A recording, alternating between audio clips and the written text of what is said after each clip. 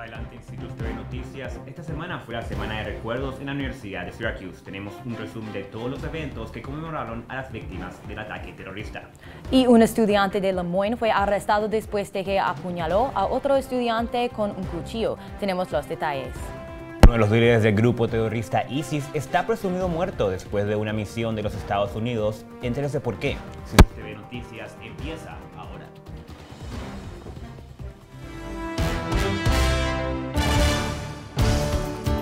Desde los estudios de Citrus, esto es Citrus TV Noticias, el único noticiero universitario.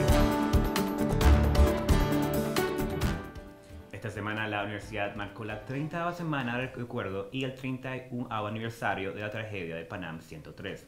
Hola, yo soy Juan David Zamudio. Y yo, Nicole Weaving, la semana honora las vidas de 35 estudiantes de Syracuse que murieron cuando el vuelo de Pan Am 103 fue bombardeado y explotó sobre el pueblo de Lockerbie en Escocia. Los 35 estudiantes estaban regresando a los Estados Unidos después de un semestre en Londres con la universidad. 270 personas murieron en el ataque terrorista que tuvo lugar en el 21 de diciembre de 1988. Cada año desde el ataque, la universidad selecciona becarios para representar a cada uno de los 35 estudiantes. Los becarios se encargan de planear la semana de recuerdo. Este año la semana empieza con una vigilia de, con velas. Como ven aquí, cada becario y cada persona que asistieron a la celebración encendieron velas para honrar a las víctimas. Los becarios crearon muchas exhibiciones para conmemorar a las víctimas durante la semana, incluyendo sillas en el quad en el orden donde estaban sentados los estudiantes en el vuelo. Además, había muchos paneles para discutir el tema del terrorismo. El primer panel discutía el terrorismo digital y el segundo panel discutía el terrorismo doméstico aquí en los Estados Unidos. Además, había una celebración de vida. La celebración tenía lugar el jueves y era un espectáculo donde variedades de, en donde cantantes, bailarines y poetas participaron. La semana concluyó con una ceremonia de colocación de rosas. Reportero de Citrus TV Ricky Sayers asistió a la ceremonia y nos trae este reportaje.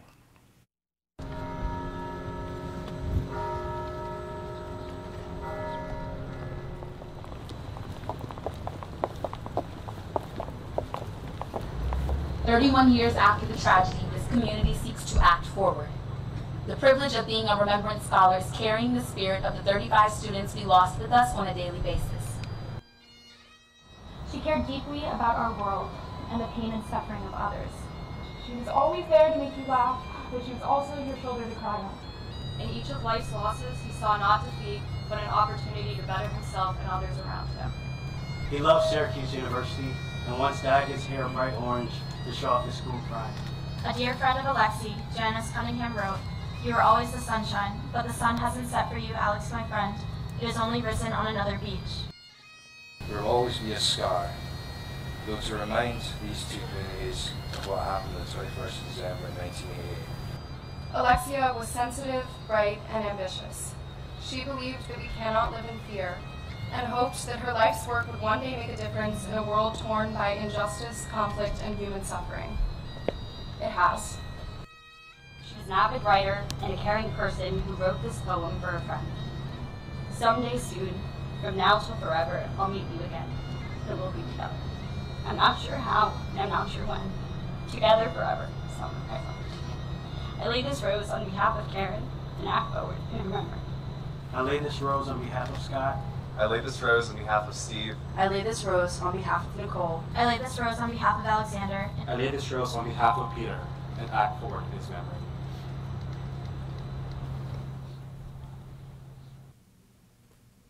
Un asesor de carrera de Whitman mandó un correo electrónico el jueves que incluyó los promedios de todos los estudiantes de la clase de 2021. Según el Daily Orange, el asistente de direcciones de Centro de Carreras de Whitman, Alice Welch, incluyó una hoja de Excel con los promedios en un correo electrónico sobre oportunidades de empleo por accidente. La hoja también incluía los nombres y números del SUID de los estudiantes. El decano asistente de comunicaciones de Whitman, Kevin Bailey, se disculpó con la clase de 2021 el viernes. Dijo que la universidad toma la exposición de la información privada en serio y que Whitman está preparado para ayudar a los estudiantes con sus preocupaciones. Syracuse está finalizando el día de hoy la obra 12 Angry Men, basada en la película 1957. La obra cuenta la historia de los jurados que decidieron el destino de un adolescente acusado de asesinar a su padre. La obra se ha presentado en el escenario de Syracuse desde el 9 de octubre. A lo largo del mes, el teatro ha realizado paneles que discutían la ley penal y la justicia. Los paneles han incluido jueces locales, abogados y profesores de la universidad. El próximo espectáculo que se presentará en el la tarima de Syracuse será el famoso clásico La Bella y la Bestia de Disney. El musical será lanzado el 22 de noviembre y durará hasta el 5 de enero. La Universidad de Syracuse ha ofrecido despejar las aceras de dos calles cerca del campus, permitiendo que el ayuntamiento amplíe su programa municipal de limpieza de nieve en otras partes de la ciudad. Las áreas que serán limpiadas por la universidad son Avenida Euclid desde la Avenida Comstock hasta la calle Westcott. Esto es un eh, buen ejemplo de la asociación en curso entre la universidad y la ciudad. Y Juan, el clima fue un poco raro hoy con sol en la mañana, pero la lluvia en la tarde. Sí, nuestra reportera del clima, Lili Humana, nos tiene todo el detalle del clima. Sí, estamos mirando lluvia. Yo no sé de ustedes, pero yo me quedé atascada en mi carro ahora porque no estaba expectando esa lluvia, pero para que no pase lo mismo a ustedes, le voy a decir cuándo pueden expectar esa lluvia que se vaya. Ahora tenemos temperaturas de 62 grados, un poco de lluvia por ahí por allá y temperaturas van a bajar. Para la noche estamos viendo temperaturas de 55 grados, así que sí va a estar un poco más frío y esa lluvia se va a empezar a parar y vamos a ver más nubes mirando aquí la probabilidad de lluvia, aquí a las 5 todavía, todavía está como al 40% y después va a bajar un poco a las 6, pero todavía va a haber un poco de lluvia. A las 7 ya pueden expectar que solo va a ser un poco, no nada malo. Y a las 8, a las 9 sí vamos a ver que esa probabilidad de lluvia se va a bajar. Más tarde les digo qué pueden expectar para el resto de la semana. Gracias, Lily. Un estudiante de la Universidad de Lemoyne apuñaló a un estudiante de DeWitt con un cuchillo. Zachary Lang, de 19 años, ha sido acusado de asalto en el segundo grado, posesión de arma de cuarto grado y acoso en segundo grado. Según la policía, Lang fue arrestado minutos después de lo sucedido. El estudiante que fue agredido fue llevado a un hospital local. Según la policía, sus heridas no son tan graves.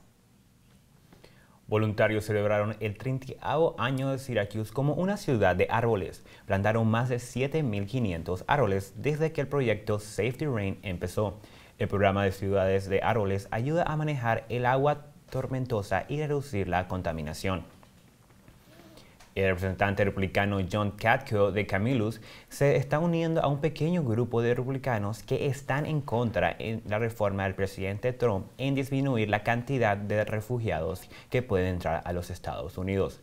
Katko firmó una carta con otros 16 republicanos que al secretario Mike Pompeo para reconsiderar el plan de solo permitir 18.000 refugiados en el 2020, la cantidad más baja en la historia de los Estados Unidos.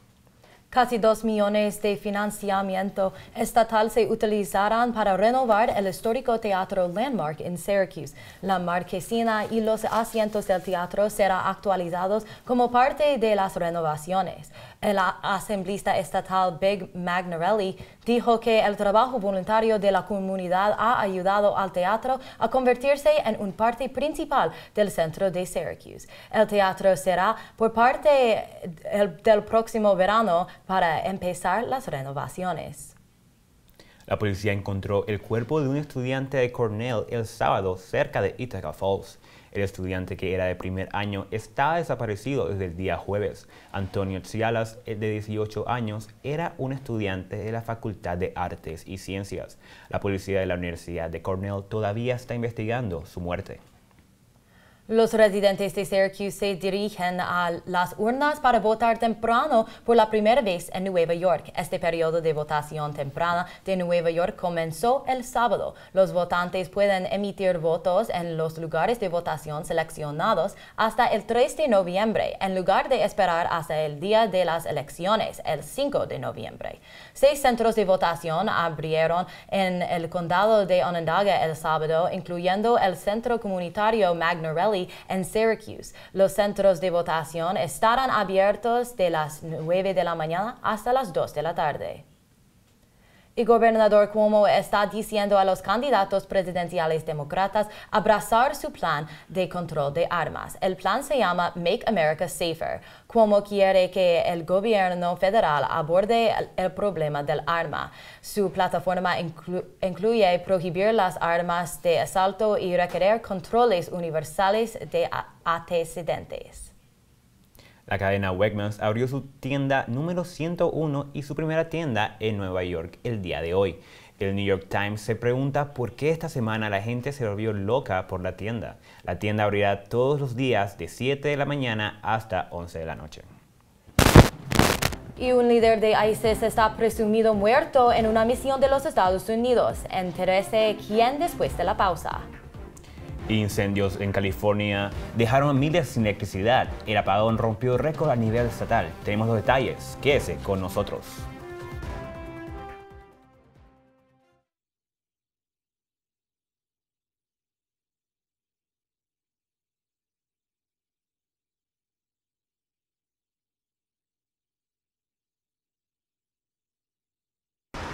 Mírate.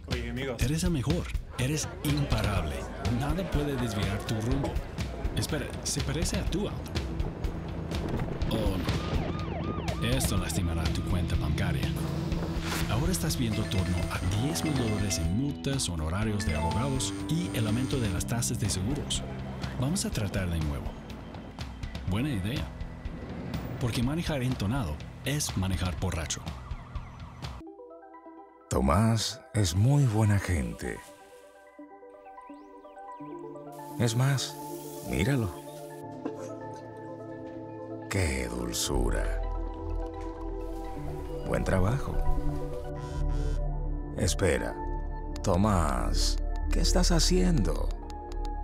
¿Qué tan egoísta e inesperado de ti?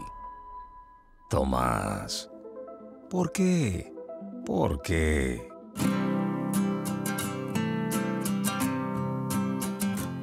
Día a día una red de samaritanos reúne el excedente de comida en bancos de alimentos, dando esperanza a millones de niños que luchan contra el hambre. Se han ganado sus alas y tú también puedes hacerlo. Juntos podemos solucionar el hambre infantil. Apoya a Feeding America y a tu banco de alimentos en feedingamerica.org diagonal español.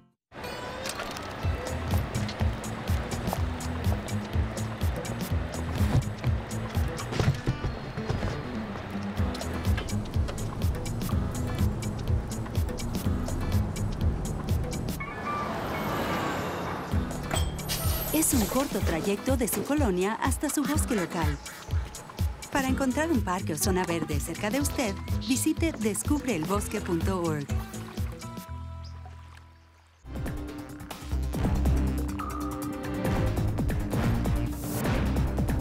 Casi 2.700.000 personas en California perdieron electricidad este fin de semana entre amenazas de incendios. La compañía eléctrica Pacific Gas and Electric amplió la zona de apagón el sábado como resultado del clima severo. Este apagón deliberado sería el más grande en la historia estatal. PG&E aseguró al público que el apagón era un último recurso, pero los funcionarios estatales están frustrados con la decisión. Hill dijo que PG&E sigue fallando en comunicarse con sus clientes. El gobernador Newsom dijo lo mismo, pero enfatizó que el problema viene de las décadas del mal manejo en la compañía. El presidente Donald Trump está siguiendo su promesa de campaña de crear una pared en la frontera, pero, no esta, eh, pero esta vez no es en México, pero en Colorado. Trump estaba en discurso de compañía en Pittsburgh cuando dijo lo siguiente, estamos construyendo una pared en la frontera de New México y también una pared en California. El presidente después tuiteó chistosamente que no va a construir una pared en Kansas o en Colorado, pero los estados igual se beneficiarían con ellas. El gobernador de Colorado, Jared Pauls, comentó que esta es una situación incómoda, puesto que Colorado no tiene una frontera con México. Por lo bueno es que Colorado ahora tiene kindergarten gratis para que los niños puedan aprender geografía básica.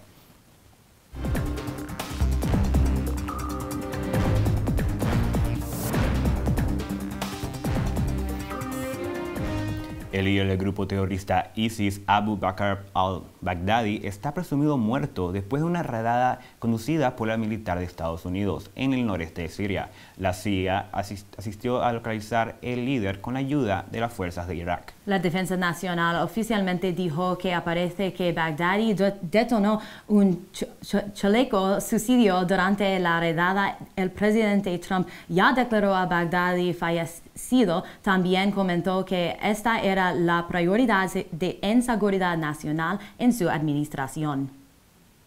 Protestas en Chile escalan en números con más de un millón de personas en la marcha pacífica el viernes en la capital, Santiago.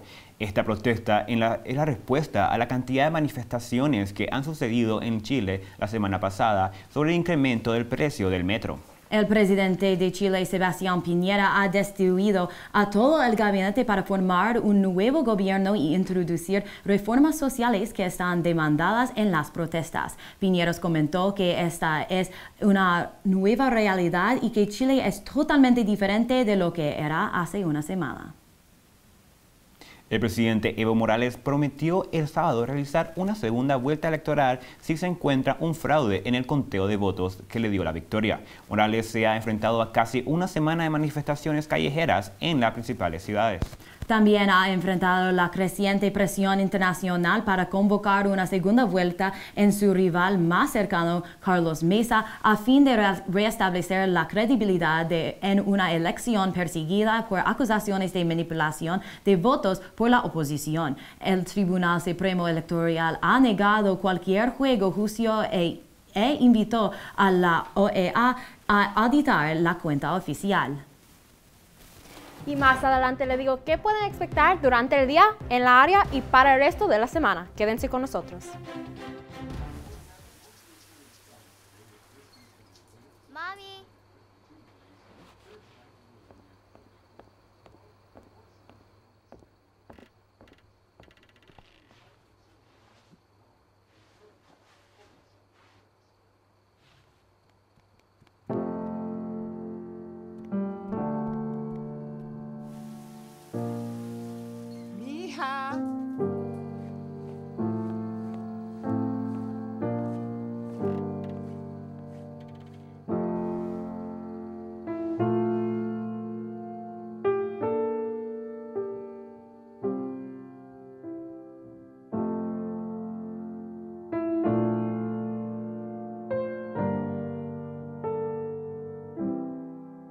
Tu nuevo rol te ayudamos a cuidar.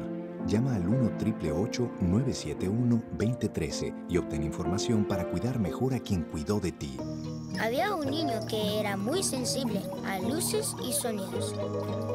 Construía escondites donde no podían entrar. No le gustaba mirar a la gente a los ojos. Lo hacía sentir incómodo. Un día se descubrió que tenía autismo. Con ayuda poco a poco aprendió a vivir mejor con ello. Mientras más pronto se diagnostique, mejor. Conoce las señales en autismspeaks.org.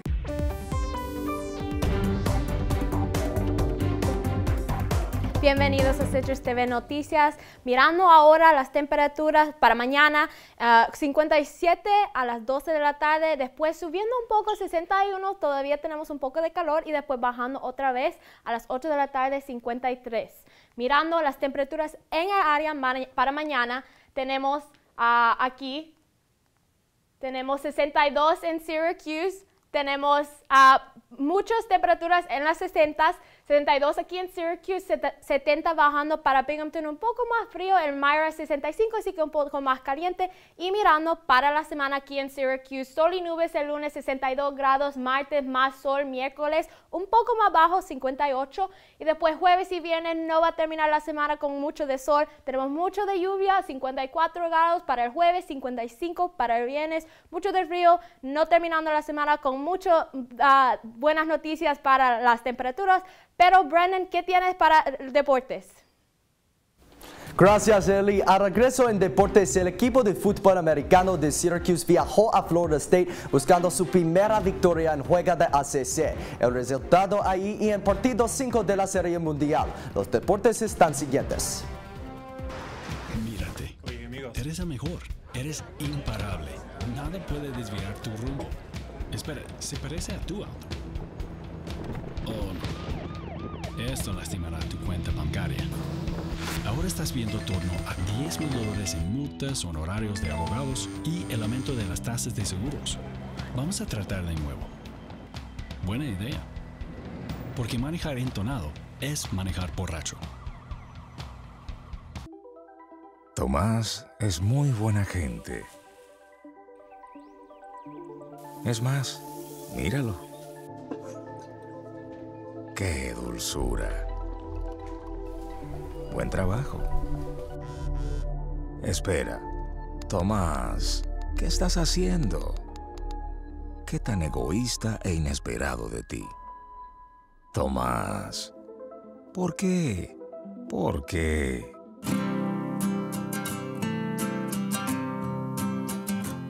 Día a día, una red de samaritanos reúne el excedente de comida en bancos de alimentos, dando esperanza a millones de niños que luchan contra el hambre.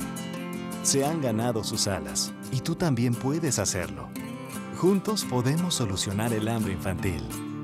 Apoya a Feeding America y a tu banco de alimentos en feedingamerica.org diagonal español.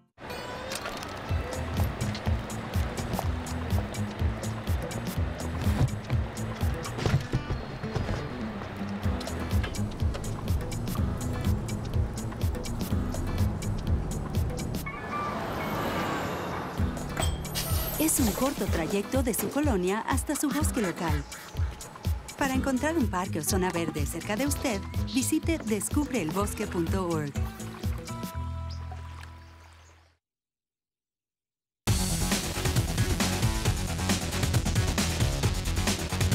El equipo de fútbol americano de Syracuse fue a Florida State ayer sin una sola victoria en juega de conferencia. Buenas tardes, soy Brandon Ross. El partido en Tallahassee presentó una óptima oportunidad para esa victoria. Los Seminoles tuvieron el mismo récord de 3 y 4, entonces pensarías que el partido estaría cerca. Pero Akers inmediatamente anota una touchdown y eh, los Seminoles Uh, eh, aventaje 6 a 0 temprano y Akers también y uh, un aventaje de dos anotaciones. Circus fue a la zaga 21 a 3 al medio tiempo después de un gol de campo de Andre Smith. El refrán que va, si no está roto, no lo arregles. Akers del Wildcat para su cuarto touchdown del día. Él también terminó con 171 yardas total. Adu Adams clavó una otra anotación, pero no fue bastante y Syracuse perdió 35 a 17. Reportera de noticias Nicole Weaving estaba allí en Tallahassee y nos dice cómo Cam Akers sorprendió la defensa de Syracuse. Cam Akers fue fenomenal en la triunfa de Florida State contra Syracuse 35 a 17. El corredor tuvo 145 yardas con cuatro touchdowns en el campo. También él hacía el Wildcat muchas veces durante el partido, un juego que Syracuse no anticipa. El esfuerzo de Akers últimamente fue la razón por la pérdida de Syracuse. Akers is the type of back that can break, you know, two or three tackles every time he touches the football. When you get into a wildcat formation, basically you have 10 blockers. And uh, somebody's got to fight off a block. But normally in that situation, instead of him having to break tackles on three or four guys, he's only got to break tackles. You know, it kind of gets really confusing on you know who's who's covering who, where's my where's my run fit, where's my run gap, and so I felt like you know that was definitely a curveball I threw, and you know we didn't adjust well enough to it to begin.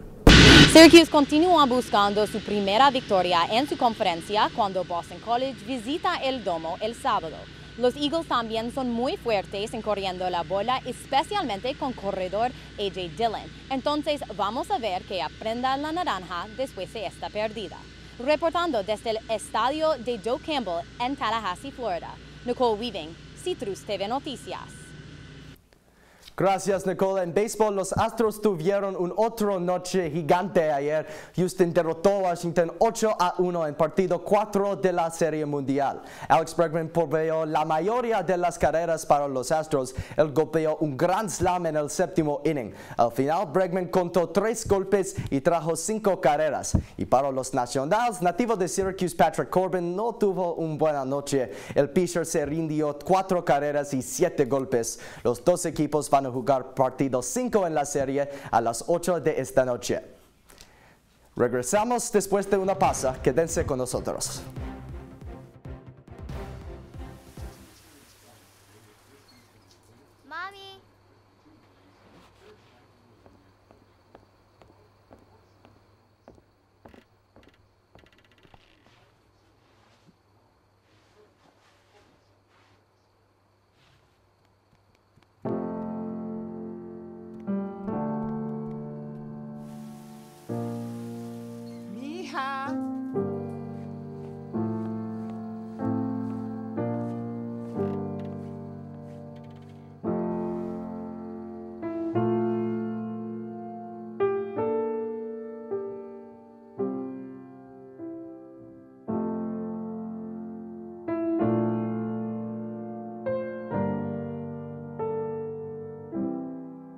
En tu nuevo rol te ayudamos a cuidar.